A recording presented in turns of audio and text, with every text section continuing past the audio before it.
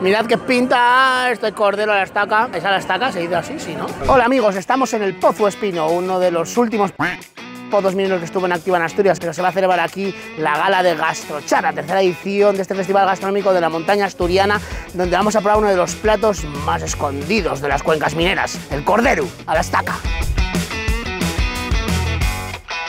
El cordero a la estaca se puede probar en muy pocos restaurantes, pues sigue siendo una práctica muy familiar. Se remonta a mediados del siglo pasado, cuando volvieron de Argentina algunos emigrantes que habían conocido allí la manera de cocer así el cordero, y la extendieron sobre todo por las cuencas mineras.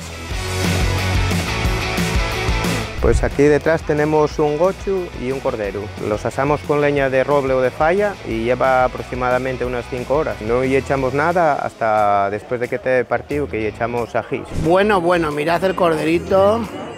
Está brutal. Un pedacito me he llevado. Mirad qué pinta. Crujientito, lleva esto 5 horas y está que te muere.